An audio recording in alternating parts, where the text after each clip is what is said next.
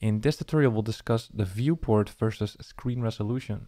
What we're gonna do is we're gonna make the viewport, right? This is called the viewport. The viewport is the visible area of the web page. So you're gonna see this term viewport sometimes. The viewport here is the visible area of the web page. It does not include this browser stuff. So the address bar, the tab, this is not included in the viewport, right? It's different from the screen resolution. My screen resolution is 1920 pixels wide and 1080 pixels tall. It includes everything that you see here on the screen, right? But the viewport is only that area of the uh, visible web page, right? So what we can do in these developer tools is we can make the viewport well wider and less wide and and what we're going to do is we're going to make it smaller and smaller until something starts to break and then that's going to be a so-called break point at that point we're going to change something with a css media query By the way, if this was helpful, I'd really appreciate it if you could like and subscribe. Also, check out my courses on CSS and JavaScript if you want to take those skills to an advanced level. Because in there, we will build some beautiful real world projects from scratch so you can see how everything fits together and really master CSS or JavaScript. And I will also release other courses soon like React and Node.js. So if you want to be notified, then make sure you are subscribed to the email newsletter. You can find the link in the description. Thanks for watching and I hope to see you soon.